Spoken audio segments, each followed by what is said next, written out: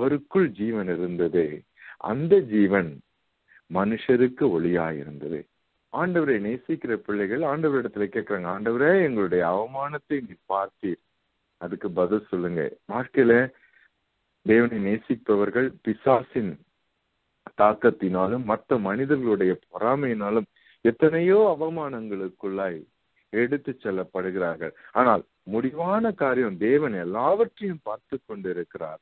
அந்த அவமானப்படுத்தின மனிதர்களை வைத்தே அவர்களுக்கு பலன் கொடுப்பார். அவர்களுடைய இதயத்தை மாற்றி நம்ம சிம்சோனுடைய வாழ்க்கையிலே பார்த்தோம். பட்சிக்கிறவனிடத்துல இருந்த பட்சணமும் பலவானிடத்திலிருந்து மதுரம் என்று சொல்லி. நம்ம மனி அதாவது நம்ம எதிர்க்கிறவர்கள் நம்மை ஒருங்கிணைக்கிறார்கள். நம்ம எதிர்க்கிறவர்கள் நம்ம இன்னும் உத்வேகத்தோடு வேலை செய்யும்படியாய் நம்மை தூண்டுகிறார்கள். நம்ம எதிர்க்கிறவர்களை வந்து நம்மை பலவீனப்படுத்தி விட்டு போவதில்லை. அதை நன்றாக அதாவது அவரை நேசிக்கிற மனிதர்களுக்கு சகலமும் நன்மைக்கு எதுவாய் நடக்கிறது என்றால் இப்போ வந்திருக்கிற எதிர்ப்புகள்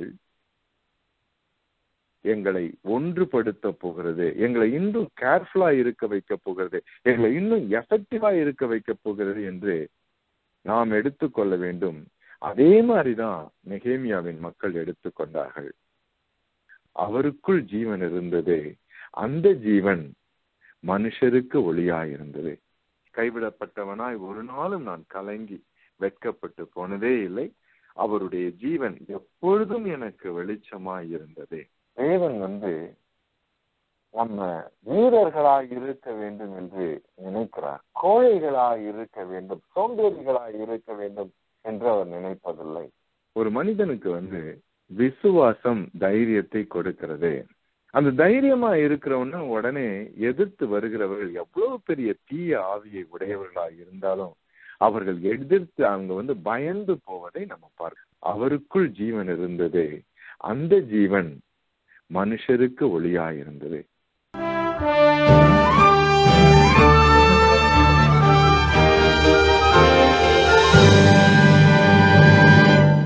எங்களை மிகவும் அன்பாய் நேசிக்கின்ற எங்கள் நல்ல ஆண்டவரே இந்த நாளுக்காய் மே துதிக்கிறோம் சுவாமியும் உடைய இறக்கங்களுக்காய் கெஞ்சி நிற்கிற இறக்கமுள்ள தகப்பனே ஆண்டவரே ராஜா சகோதரன் ஜெபித்தது மாதிரி ஆண்டவரே உடைய வசனத்தை தியானிக்கும்படியாகவும் உடைய வசனத்தை கேட்கும்படியாகவும் கர்த்தர் ஆண்டவரே எங்களோடு ஆண்டவரே நீர் இடைப்பட்டீரப்பா.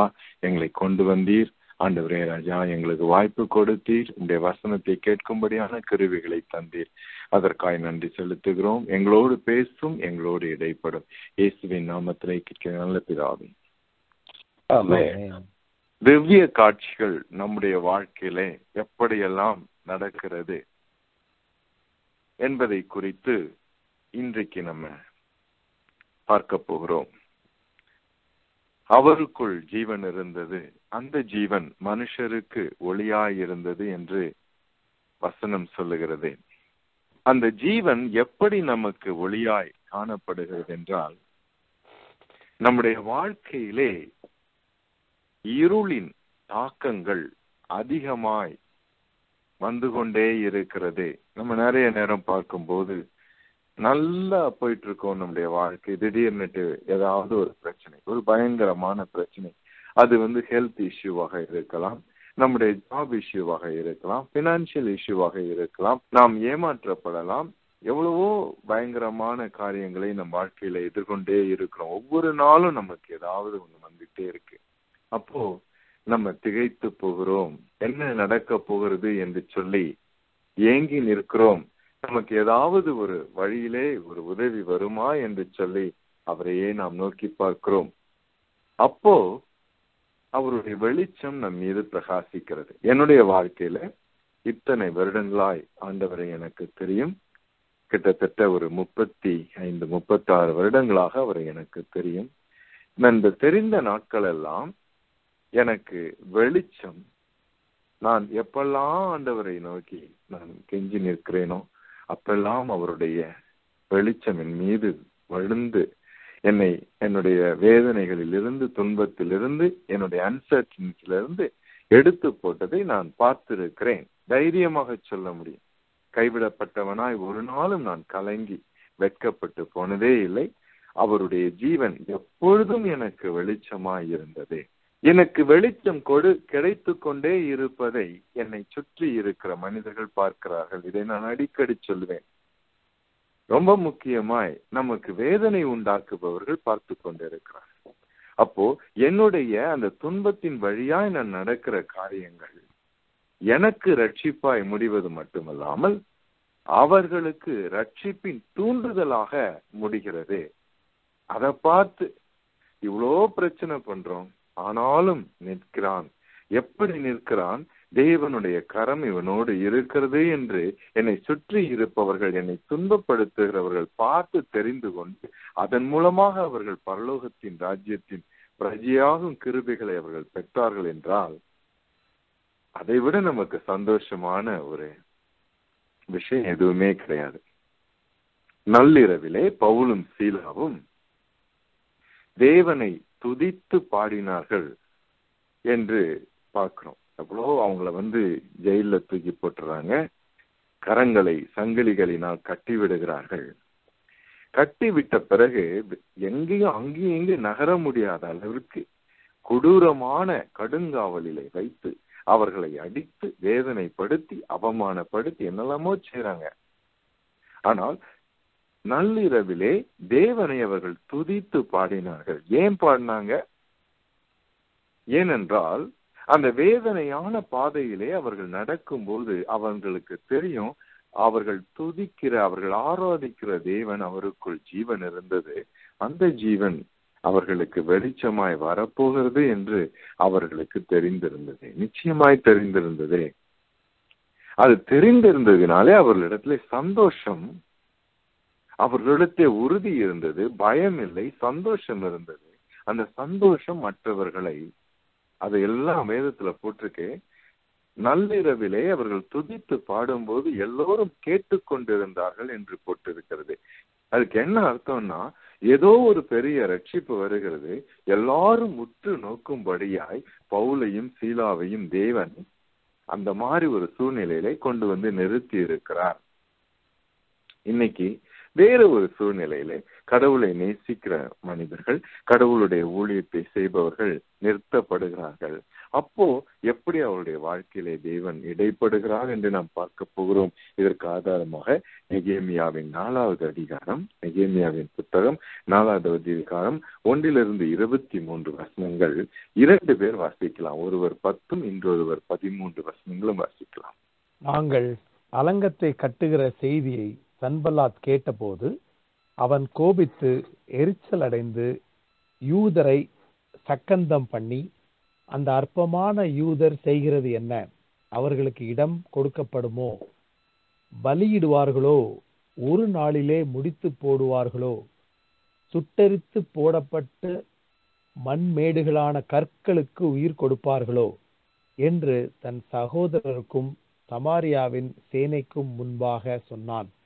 அப்பொழுது அம்மோனியனாகிய தொபியா அவன் பக்கத்தில் நின்று அவர்கள் கட்டினாலும் என்ன?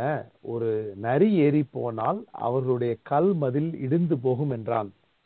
எங்கள் தேவனே நாங்கள் அவமதிக்கப்படுகிறதை கேட்டு அவர்கள் நிந்திக்கிற நிந்தையை அவர்கள் தலையின் மேல் திருப்பி அவர்களை சிறையிருப்பின் தேசத்திலே சூறைக்கு ஒப்புக்கொடும். அவர்கள் அக்கிரமத்தை மூடி போடாதேயும் அவர்கள் பாவம் உண்பதாக கொலைக்கப்படாதிருப்பதாக கட்டுகிறவர்களுக்கு மனமடி உண்டாக பேசினார்களே. நாங்கள் அலங்கத்தை கட்டி வந்தோம். அலங்கமெல்லாம் பாதி மட்டும் ஒன்றாய் இணைந்து உயர்ந்தது.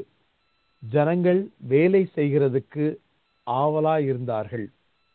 எருசலேமின் அலங்கத்தை கட்டுகிற வேலை வளர்ந்தேறுகிறது என்றும் இடிக்கப்பட்ட இடங்கள் அடைப்பட்டு வருகிறது என்றும் சன்பல்லாத்தும் தொபியாவும் அரபியரும் அம்மோனியரும் அஸ்தோத்தியரும் கேட்டபோது அவர்கள் மிகவும் எரிச்சலாகி எருசலேமின் மேல் யுத்தம் பண்ண எல்லாரும் ஏகமாய் வரவும் வேலையை தடுக்கவும் கட்டுப்பாடு பண்ணினார்கள். ஆனாலும் நாங்கள் எங்கள் தேவனை நோக்கி ஜெபம் பண்ணி அவர்கள் நிமித்தம் இரவும் பகலும் ஜாமம் காக்கிறவர்களை வைத்தோம். அப்பொழுது யூதா மனிதர் சுமைக்காரரின் பலன் குறைந்து போகிறது. மண்மேடு மிச்சமாய் இருக்கிறது. நாங்கள் அலங்கத்தை கட்டக்கூடாது என்றார்கள். எங்கள் சத்துருக்களோ வென்றால் நாங்கள் அவர்கள் நடுவே வந்து அவர்களை கொன்று போடும் மட்டும் அவர்கள் அதை அறியாமலும் பாராமலும் இருக்க வேண்டும். இவ்விதமாய் அந்த வேலையை ஓய பண்ணுவோம் என்றார்கள். அதை அவர்கள் அண்டையிலே குடியிருக்கிற யூதரும் பல இடங்களிலும் இருந்து எங்களிடத்துக்கு வந்து பத்து விஷயங்களுக்கு சொன்னார்கள். அப்பொழுது நான் அலங்கத்துக்கு பின்னாக இருக்கிற பள்ளமான இடங்களிலும் மேடுகளிலும் பட்டயங்களையும் வீட்டுகளையும் வில்லுகளையும் பிடித்திருக்கிற ஜனங்களை குடும்ப குடும்பமாக நிறுத்தினேன். நான் அதை பார்த்து எழும்பி பிரபுக்களையும் அதிகாரிகளையும் மற்ற ஜனங்களையும் நோக்கி அவர்களுக்கு பயப்படாதிருங்கள். நீங்கள் மகத்துவம் பயங்கரமான ஆண்டவரை நினைத்து உங்கள் சகோதரருக்காகவும் உங்கள் குமாரருக்காகவும் உங்கள் குமாரத்திகளுக்காகவும் உங்கள் மனைவிகளுக்காகவும் உங்கள் வீடுகளுக்காகவும் யுத்தம் பண்ணுங்கள் என்றேன். எங்களுக்கு செய்தி தெரிய வந்தது என்றும் தேவன் அவர்கள் ஆலோசனை அபத்தமாக்கினார் என்றும் எங்கள் பகைஞர் கேட்டபோது நாங்கள் எல்லாரும் அவரவர் தங்கள் வேலையை செய்ய அலங்கத்துக்கு திரும்பினோம். அன்று முதற்கொண்டு என் வேலைக்காரர்கள் பாதி பேர் வேலை செய்தார்கள். பாதி பேர் ஈட்டிகளையும் பரிசைகளையும் வில்லுகளையும் கவசங்களையும் பிடித்து நின்றார்கள். அதிகாரிகள் யூதா வம்சத்தார் எல்லாருக்கும் பின்னாக நின்றார்கள். அலங்கத்திலே கட்டுகிறவர்களும் சுமை சுமக்கிறவர்களும் சுமை ஏற்றுகிறவர்களும் அவரவர் ஒரு கையினாலே வேலை செய்து மறு கையினாலே ஆயுதம் பிடித்திருந்தார்கள். கட்டுகிறவர்கள் அவரவர் தங்கள் பட்டயத்தை தங்கள் இடுப்பிலே கட்டி கொண்டவர்களாக வேலை செய்தார்கள். எக்காலம் ஊதுகிறவன் என்னென்றுகிறேன் என்றான் நான் பிரபுக்களையும் அதிகாரிகளையும் மற்ற ஜனங்களையும் நோக்கி வேலை பெரிதும் விஸ்தாரமாக இருக்கிறது. நாம் அலங்கத்தின் மேல் வேறப்பட்டு ஒருவருக்கு ஒருவர் தூரமாக இருக்கிறோம். நீங்கள் எவ்விடத்திலே எக்கால சத்தத்தை கேட்கிறீர்களோ அவ்விடத்திலே வந்து எங்களோட கூடுங்கள். நம்முடைய தேவன் நமக்காக யுத்தம் பண்ணுவார் என்றேன். இப்படியே நாங்கள் வேலை செய்து கொண்டிருந்தோம். அவர்களிலே பாதி பேர் கிழக்கு வெளுக்கும் நேரம் முதல் நட்சத்திரங்கள் காணும் மட்டும் ஈட்டுகளை பிடித்திருந்தார்கள். அக்காலத்தில் நான் ஜனங்களை பார்த்து ராமாறு நமக்கு காவலுக்கும் பகல்மாறு வேலைக்கும் உதவ அவரவர் தங்கள் வேலைக்காரரோடு கூட எருசலேமுக்குள்ளே ராத்தங்க கடவர்கள் என்று சொல்லி நானாகிலும் என் சகோதராகிலும் என் வேலைக்காரராகிலும் என்னை பின்பற்றி காவல் காக்கிற சேவகராகிலும் எங்கள் வஸ்திரங்களை கலைந்து போடாதிருந்தோம். அவர் அவரவருக்கு ஆயுதம் தண்ணீரும் இருந்தது. ஆமே கடைசியாக நாம் பார்த்த ஒரு வார்த்தைகள் ரொம்ப முக்கியமான காரியங்கள். தேவனுடைய ஊழியத்தை நாம் செய்யும் போது நிறைய நேரம் நம்ம நினைக்கிறோம். நமக்கு எதற்காக பிரச்சனை எல்லாம் வருது? ஏன் பிரச்சனை வருது? ஏன் வந்து கடவுளுக்காக நம்ம எல்லாம் செய்யறோம் ஏன் நமக்கு எல்லாம் ஏன்னா தேவன் வானாதி வானங்களுக்கு தெய்வன் அல்லவா அவர்? அவர் எல்லாவற்றையும் தன்னுடைய கட்டுக்குள்ளே வைத்திருக்கிறார். பூமியில் உள்ள சகல அதிகாரங்களும் எனக்கு கொடுக்கப்பட்டிருக்கிறது என்று சொன்னார் அவர். அப்படிப்பட்ட தேவனை நாம் அன்புள்ள இரட்சகராய் அடைந்திருக்கிறோம். நம்மை உள்ளங்கையிலே வரைந்திருக்கிறவராய் அடைந்திருக்கிறோம். ஆனாலும் நம்முடைய பிரச்சனைகள் ஒவ்வொரு நாளும் புதிதாக பிரச்சனை இருக்கிறது. நான் அடிக்கடி சொல்றேன் தானியல் வந்து பிரதம மந்திரி ஸ்தானத்துல இருந்தான். அவனை சிங்கக்கதியிலே கொண்டு போய் போட்டாங்க. அதுக்கு அவன் எப்படி எதிர்கொள்கிறான்? சிங்கக்கதியிலே தன் போடப்பட்டது வந்து அவன் வந்து அதை தைரியமா எதிர்கொள்றான். ஏன்னா அவனுக்கு தெரிந்து விட்டது தனக்கு விரோதமா இந்த சட்டங்களை எல்லாம் தனக்காகவே அவர்கள் வரைந்திருக்கிறார்கள். மன்னனுக்கு வேற வழி இல்லாம அவன் வந்து போர்ஸ் பண்ணதுனால அவன் என்ன செய்யறான் அந்த சட்டத்திலே கையெழுத்து விட்டு விட்டான். அவனுக்கு தெரியல. அதனால அவனுடைய இதயத்திலே அரசனை அவன் மன்னித்து விட்டான்.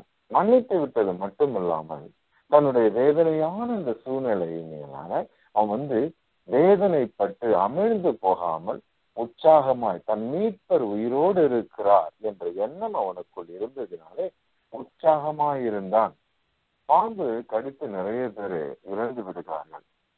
இதுல கிட்டத்தட்ட எழுபது பர்சன்ட் வந்து இறந்து விடுகிறவர்கள் பயத்தினால் இறந்து விடுகிறார்களாம் விஷத்தினால் அவர்கள் இறந்து விடுவதில்லையா? தீமை தொடர்ந்து கிரியை செய்து கொண்டிருக்கிறதுனால பிசாசு அவன் தொடர்ந்து கிரியை செய்து கொண்டிருக்கிறதுனாலே நமக்கு நம்முடைய இதயத்திலே பயத்தை உருவாக்குகிறான். நம்ம இதயத்துல வந்து பயம் கிரியை செய்யும் போது அந்த பயத்தினாலே நம்முடைய வாழ்க்கை பாதிக்கப்படுகிறது நம்ம விசுவாச கப்பல் நாசமாகிறது. அதனால அவனுக்கு நல்லா தெரியும் எவ்வளவு பிரச்சனையை அவன் உருவாக்கி கொடுத்தாலும் தேவன் எல்லாவற்றிலும் இருந்து நம்மளை விடுதலையாக்குவதற்கு அவருக்கு வல்லமை இருக்கிறது என்று தெரியும்.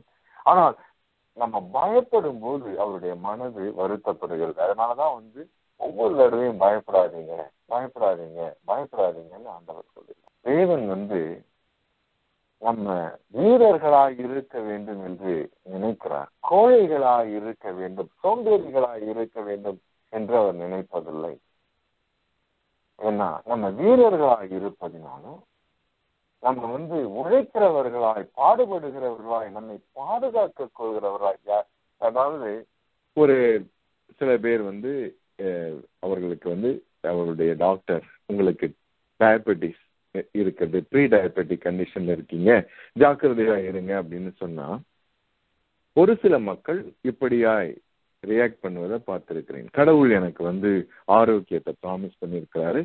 நான் நான் வந்து எதுவும் செய்ய மாட்டேன். நான் வந்து நான் இருக்கிற மாதிரி இப்படியே இருப்பேன் என்று அவங்க சொல்றதை நான் பார்த்திருக்கிறேன்.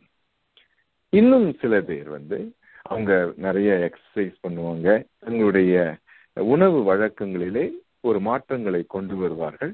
தங்களால் இயன்ற அளவிற்கு அந்த நோய் வந்து ப்ராக்ரஸ் பண்ணாம தடுப்பார்கள்.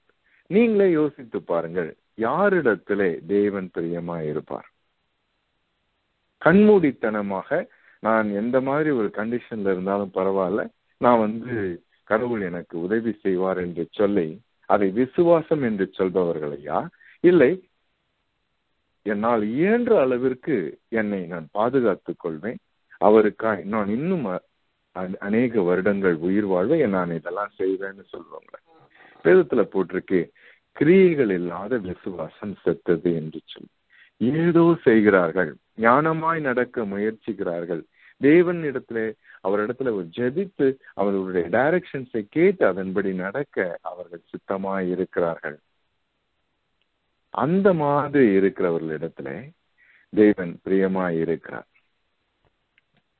தாவீதுக்கு முன்பாக கோலியாத் எழுந்து நின்றான்.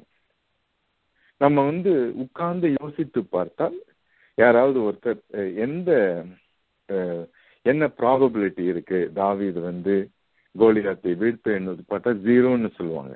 ஏன்?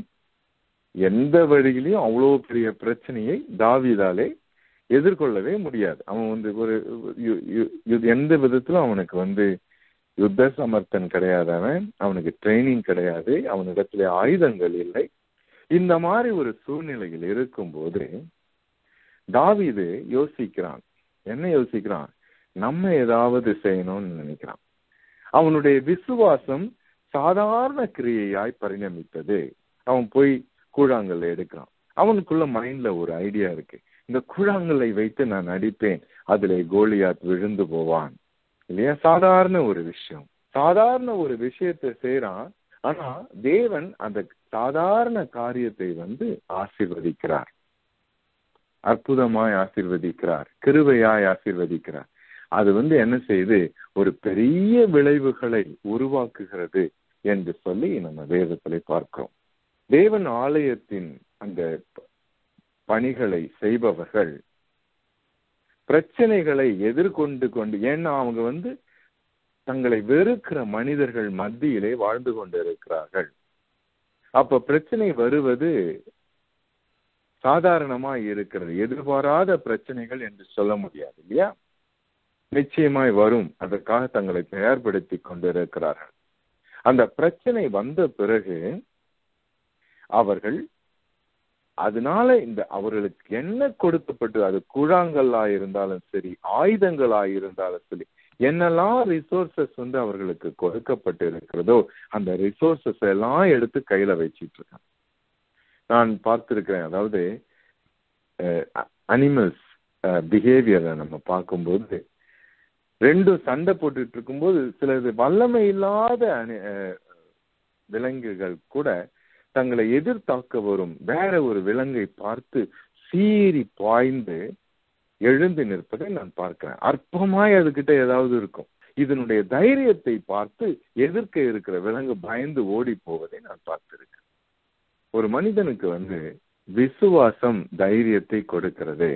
அந்த தைரியமா இருக்கிறவன உடனே எதிர்த்து வருகிறவர்கள் எவ்வளவு பெரிய தீய ஆவியை உடையவர்களா இருந்தாலும் அவர்கள் எதிர்த்து அவங்க வந்து பயந்து போவதை நம்ம பார்க்கிறோம். சாமுவேலுடைய அந்த பாசறையிலே தாவிது அவன் அடைக்கலம் புகுந்தான் என்று பார்க்கிறோம். அந்த நேரத்திலே சாமுவேல் வந்து ஒரு பெரிய பரிசுத்த ஆவியின் அபிஷேக கூட்டம் மாதிரி ஒன்று வைத்து நடத்தி கொண்டிருந்தான். அந்த தேவனுடைய அபிஷேக ஆவியானவர் அந்த இடத்திலே உலாவிக் கொண்டிருக்கும் போது தாவீதை கொலை செய்ய வேண்டும் என்று வருகிற வீரர்களும் சவுலும் அந்த இடத்துல வந்த உடனே அந்த ஆவியினாலே தாக்கப்பட்டு அவர்கள் வந்த காரியத்தை மறந்து அவர்கள் வந்து தீர்க்க தரிசனம் சொன்னார்கள் அப்படின்னு சொல்லி வேதத்துல நம்ம வாசிக்கிறோம். இன்னைக்கு நம்ம பைபிள் ஸ்டடியில பார்த்த மாதிரி நாம் ஆயுதங்கள் இல்லாமல் தேவனுடைய ஆவியானவருடைய பலனை நாம ருசிக்கும்படியா இவருடைய பாதத்திலே உட்கார்ந்து இருக்கும்போது நம்ம எதிர்க்கிறவர்கள் ஓடி வந்து வீணா அவங்க வந்து வேற மாதிரி போகிற சுச்சுவேஷனும் உண்டு. சபிப்பதற்காக பிழையாம் கூலி அமர்த்தப்படுகிறான். பாலாக்கு வந்து அவனிடத்திலே கூலி கொடுத்து இஸ்ரவேல் ஜனங்களை சபிக்கும்படியாய் அனுப்புகிறான். சபிக்க வந்த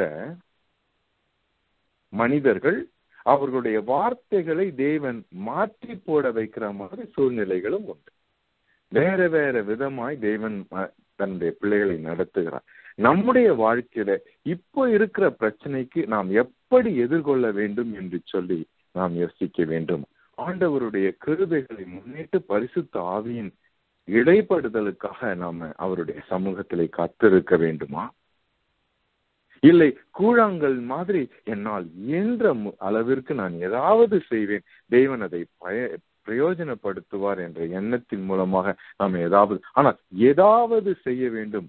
என்ன செய்ய வேண்டும் என்று ஆண்டவரிடத்திலே நாம் கேட்க வேண்டும். கர்த்தர் வந்து நமக்கு நிச்சயமாகவே உணர்த்துவார். ஏனென்றால் நம்ம வந்து அவர் நம்மை அதிகமாக நேசித்திருக்கிறார். நமக்கு இருக்கிற பிரச்சனை அவருக்கு தெரியும். எந்த மாதிரி ஒரு சூழ்நிலையிலே நாம் நடந்து கொண்டு இருக்கிறோம் என்று அவருக்கு தெரியும். இந்த சூழ்நிலைகள் மத்தியிலே நாம் இருக்கும்போது நமக்கு உதவி செய்யும்படியாய் அவர் கண்மலையாய் நமக்கு கிருபை செய்வார். அந்த மாதிரி என்னுடைய வாழ்க்கையில நான் பார்த்திருக்கிறேன்.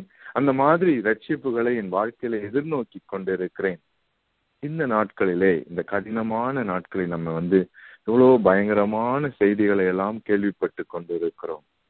ஆண்டவருடைய கிருபையில அவருடைய சமூகத்திலே நமக்கு பிரச்சனைகள் வரும்போது நமக்கு சேலஞ்சஸ் வரும்போது அவருடைய சமூகத்திலே நம்ம கேட்போம் ஆண்டவரே இந்த பிரச்சனைகள் இந்த சேலஞ்சஸை நான் எப்படி எதிர்கொள்ள வேண்டும் என்று நீர் விரும்புகிறீர்? இந்த மாதிரி நான் எதிர்கொள்ள வேண்டும் என்று விரும்புகிறீர்? உங்களுடைய ஞானத்தை எங்களுக்கு கொடுங்கப்பா. ஆண்டவரே உங்களுடைய ராஜ்யத்திற்கு வெற்றி உங்களுடைய நாமத்திற்கு மகிமை. அதை எங்கள் கண்கள் காண வேண்டும். அதற்காக எங்களுடைய வாழ்க்கையில இடைப்படும் அதற்காக எங்களுடைய வாழ்க்கையிலே ஒரு அற்புதத்தை செய்யும் அதை எங்கள் கண்கள் காண எங்களுக்கு கிருபை செய்யும் என்று சொல்லி அவரிடத்திலே நம்ம ஜெபிப்போம். நம்முடைய வாழ்க்கையை எவ்வளவு பெரிய துன்பமாய் இருந்தாலும் எவ்வளவு பெரிய எதிர்ப்புகளாய் இருந்தாலும் எவ்வளவு பெரிய அவமானம் நமக்கு வந்தால் வேதத்துல பாருங்க அவமானம் என்பது ரியாலிட்டி நிறைய பேரு அவமானங்களை வந்து தங்களுடைய தங்களுக்கு நேருகின்ற அவமானங்களை கூட சாதாரணமாய் நினைக்கிறார்கள். ஆனா அவமானங்கள் வந்து சாதாரணமானவர்கள் கிடையாது. தேவனுடைய புத்தகத்துல எழுதப்பட்டு கொண்டிருக்கிறது. அப்போ ஆண்டவரை நேசிக்கிற பிள்ளைகள் ஆண்டவரிடத்துல கேட்கிறாங்க ஆண்டவரே எங்களுடைய அவமானத்தை நீ பார்த்தீர். அதுக்கு பதில் சொல்லுங்க. வாழ்க்கையில தேவனை நேசிப்பவர்கள் பிசாசின் தாக்கத்தினாலும் மற்ற மனிதர்களுடைய பொறாமையினாலும் எத்தனையோ அவமானங்களுக்குள்ளாய் எடுத்து செல்லப்படுகிறார்கள். ஆனால் முடிவான காரியம். தேவன் எல்லாவற்றையும் பார்த்து கொண்டிருக்கிறார். அந்த அவமானப்படுத்தின மனிதர்களை வைத்தே அவர்களுக்கு பலன் கொடுப்பார். அவர்களுடைய இதயத்தை மாற்றி நம்ம சிம்சோனுடைய வாழ்க்கையிலே பார்த்தோம். பட்சிக்கிறவன் இடத்துல இருந்த பட்சணமும் பலவானிடத்திலிருந்து மதுரம் என்று சொல்லி. நம்ம மனி அதாவது நம்ம எதிர்க்கிறவர்கள் நம்மை ஒருங்கிணைக்கிறார்கள். நம்ம எதிர்க்கிறவர்கள் நம்ம இன்னும் உத்வேகத்தோடு வேலை செய்யும்படியாய் நம்மை தூண்டுகிறார்கள். நம்மை எதிர்க்கிறவர்களை வந்து நம்மை பலவீனப்படுத்தி விட்டு போவதில்லை. அதை நன்றாக அதாவது அவரை நேசிக்கிற மனிதர்களுக்கு சகலமும் நன்மைக்கு எதுவாய் நடக்கிறது என்றால் இப்போ வந்திருக்கிற எதிர்ப்புகள் எங்களை ஒன்றுபடுத்த போகிறது. எங்களை இன்னும் கேர்ஃபுல்லா இருக்க வைக்க போகிறது. எங்களை இன்னும் எஃபெக்டிவா இருக்க வைக்க போகிறது என்று நாம் எடுத்துக்கொள்ள வேண்டும். அதே மாதிரிதான் நெகேமியாவின் மக்கள் எடுத்துக்கொண்டார்கள் ஜனங்கள் அவர்கள் ஆண்டவருடைய மதில்களை பலப்படுத்த வந்தார்கள். அவர்கள் பலப்பட்டு திரும்பினார்கள். எப்படிப்பட்ட அதாவது போகும்போது நடுக்கத்தோடும் பயத்தோடும் சாந்தையும் கற்களையும் எடுத்துக்கொண்டு போயிருப்பார்கள். இதெல்லாம் முடிந்து மதுகள் பழுதுபட்டு நன்றாக நிற்கும் போது அதை பார்க்கும்போது அவர்களுக்கு எப்படிப்பட்ட பலம் மற்றவர்களாய் கட்ட ஆரம்பித்தார்கள் பலம் உள்ளவர்களாய் வெளியில வந்தார்கள் என்பது எவ்வளவு சந்தோஷமாய் இருக்கிறது. ஏன் இந்த சந்தோஷம் எல்லாவற்றுக்கும் காரணம்? அவருக்குள் ஜீவன் இருந்தது. அந்த ஜீவன் மனுஷருக்கு ஒளியாய் இருந்தது. தேவன் நம்மை வெளிச்சமாக்கும்படி நம்முடைய வாழ்க்கை நம்முடைய இருளை அவர் நீக்கும்படியாய் நம்முடைய பிரச்சனைகளை எல்லாம் எடுத்து போடும்படியாய் அந்த ப்ராசஸ்ல அவர் என்ன இன்டென்ட் பண்ணியிருக்கிற நம்மை பலப்படுத்தும்படியாய் ஜெபிப்போம். நல்ல ஆண்டவரே இந்த நாளுக்காய் துதிக்கிறோம். உடைய வசனங்களுக்காய் நன்றி செலுத்துகிறோம் சுவாமி. இந்த வசனத்தை எங்களுக்கு எழுதி கொடுத்தீரே அப்பா நன்றி. அவனுடைய வாழ்க்கை நெகைமையோடைய வாழ்க்கை நெகைமையோடு கூட இருந்த மக்களுடைய வாழ்க்கையின் மூலமாய் எங்களோடு பேசினீரே நன்றி. ஆண்டவரே அவர்களுக்கு இருந்த அந்த விழிப்புணர்வை எங்களுக்கு தாரும். அவர்களுக்கு இருந்த ஆண்டவரே ராஜா அந்த அந்த புத்தியை பிரயோஜனப்படுத்துகிற கிருபைகளை தாரும். அவர்களுக்கு இருந்த விசுவாசத்தை எங்களுக்கு தாரும் சுவாமி. எங்களுடைய அவமானங்களை எல்லாம் நீர் அறிந்திருக்கிறேன் எங்களுடைய நிந்தையெல்லாம் நீர் அறிந்திருக்கிறேன் எல்லாவற்றையும் மாற்றி போடும். என் நாமம் மகிமைப்படட்டும். இயேசுவின் நாமத்திலே கேட்கிறேன் நல்ல பிதாவே. ஆமென். ஆமென். ஆமென். ஆம்.